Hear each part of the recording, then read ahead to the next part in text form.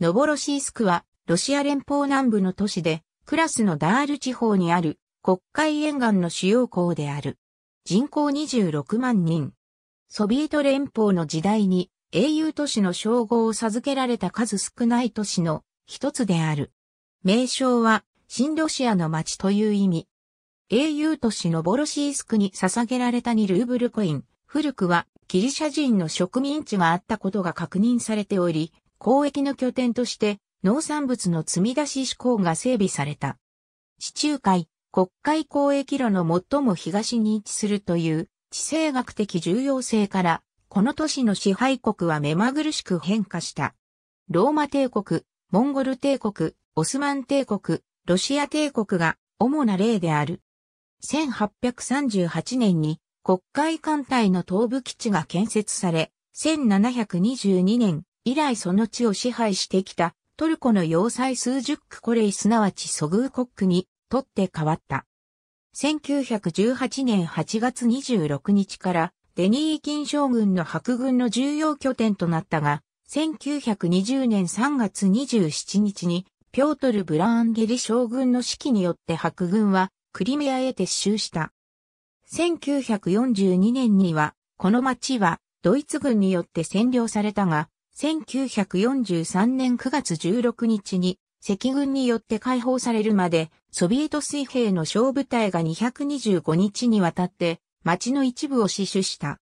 後に海軍総司令官となるセルゲイ・ゴルシコフの指揮のもと、ソビエト水兵が英雄的な防衛を行い、死の暗入部を保持し続けた。そのため、ドイツ軍は補給のために港を使用することができなかった。このことから、ノボロシースクは1973年に英雄都市の称号を授与された。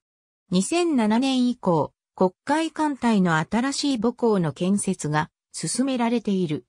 しかし、2014年のロシアによるクリミアの併合により、セバストポリが事実上のロシア領となったため、新母港の先行きは不透明となっている。ノボロシースクはロシアの主要な農産物輸出港である。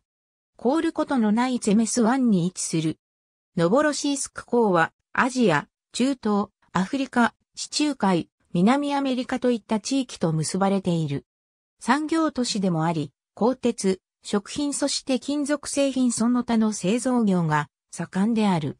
この都市周辺には多くの石灰岩の採石場があり、その結果、重要なセメント工場が立地している。このため、セメントバレーと呼ばれることがある。ノボロシースク地方はロシアの主要なワイン産地の一つである。近辺のアブラウにあるワイン醸造所では、ロシア国内で有名な高品質のテーブルワインやスパークリングワインが作られている。国立ノボロシースク海事大学とノボロシースク工科大学の所在地である。